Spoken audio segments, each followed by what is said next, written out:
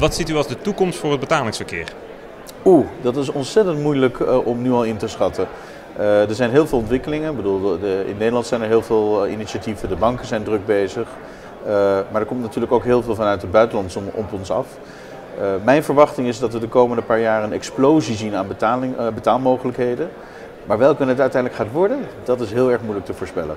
Wat betekent dat voor de thuiswinkelorganisaties? Nou, wat voor ons en onze leden, de, alles wat online verkoopt, eigenlijk van belangrijk is, is dat we betrouwbare, goedkope, uh, snelle betaalmethodes hebben. En hoe meer seamless, hoe liever we het te hebben. Wat ik daarmee bedoel is dat het voor de consument uiteindelijk echt heel erg makkelijk is om te betalen. Op een betrouwbare manier. Uh, dat is voor ons belangrijk. Als er veel spelers op het veld komen, kan die betrouwbaarheid wel in gevaar komen?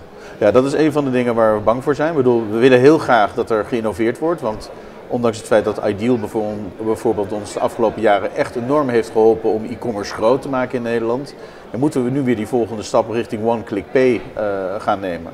Uh, en daarvoor ja, moeten we echt nog een weg gaan. Uh, maar ja, dat betekent innoveren en bij innoveren zal ook af en toe ook gevallen worden. Dat is de consequentie.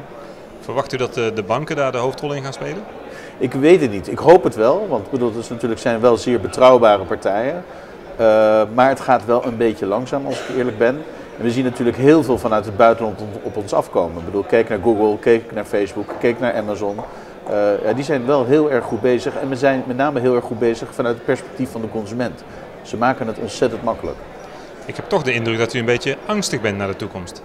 Nou, angst is een groot woord. Uh, kijk, uiteindelijk denk ik dat we met z'n allen best in staat zijn om de juiste uh, betaalmethodes te kiezen.